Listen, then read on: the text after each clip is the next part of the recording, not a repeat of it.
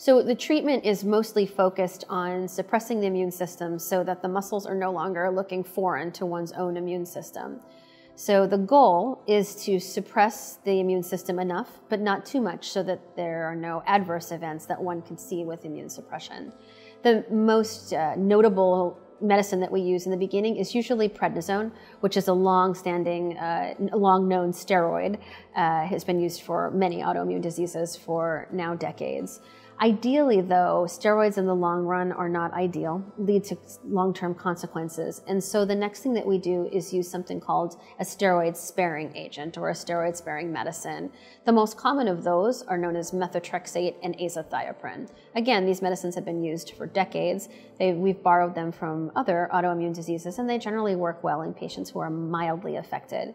In more severe cases, we go on to further immune suppressants that are a little bit more uh, intense in therapy.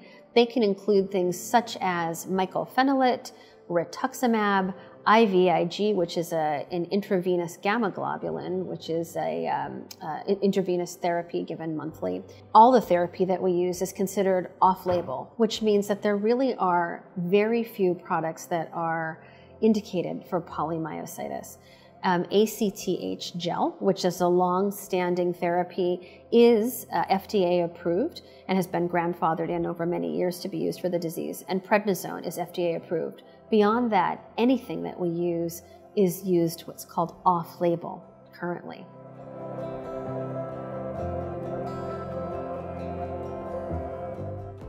I cannot stress how important regular physical exercise and even physical exercise prescribed by a physical therapist can be. Physical therapy programs that strengthen the muscle and increase the endurance are incredibly important. We generally tell patients not to lift heavy weights, but that light weights with multiple repetitions can probably help rebuild the muscle while we really don't know a whole lot about exercise and its role in myositis, as that's really only recently appreciated to be an important part of the therapy, I think it goes without saying that the muscles are likely uh, abnormal under the microscope so that they may be more susceptible to the effects of exercise that can have some negative consequences. So I always recommend that patients titrate their exercise up carefully. There was an old paradigm that said when the muscle's inflamed and affected, you should rest it. And in, in fact, I think that we've come full circle to realize that is certainly not true. So in today's day, as soon as the patient is able, we get them up and moving in a regular exercise program empirically, it's been my own observation over several years that the patients that exercise more and exercise regularly seem to be able to go into remission and stay there, and they tend to do better as you know as a whole.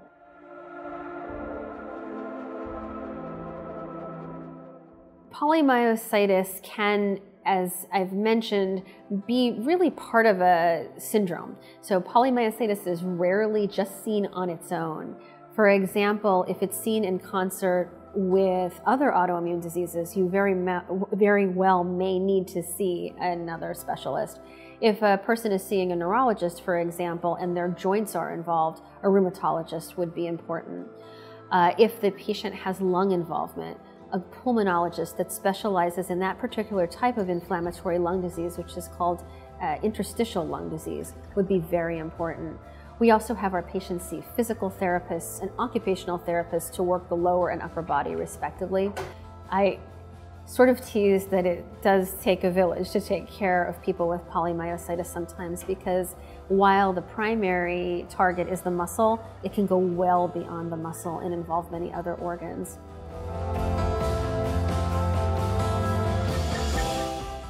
I guess the, the last thing that I would want people to know is that I think as we are understanding more about the biology of these diseases like polymyositis, we'll get better at targeting therapy.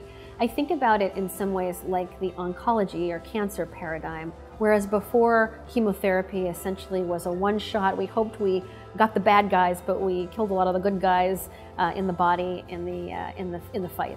So I think as we understand immunology in a more sophisticated fashion, we're understanding that certain pathways are affected more than others. So I think as time goes on, we'll actually have targeted therapy shutting down just those part of the immune, parts of the immune system that are affected and leaving the others alone. And I think that's incredibly important because the toxicity would likely go down when you have a very targeted approach. So I'm hopeful for the future of treatments for polymyositis and the related muscle diseases.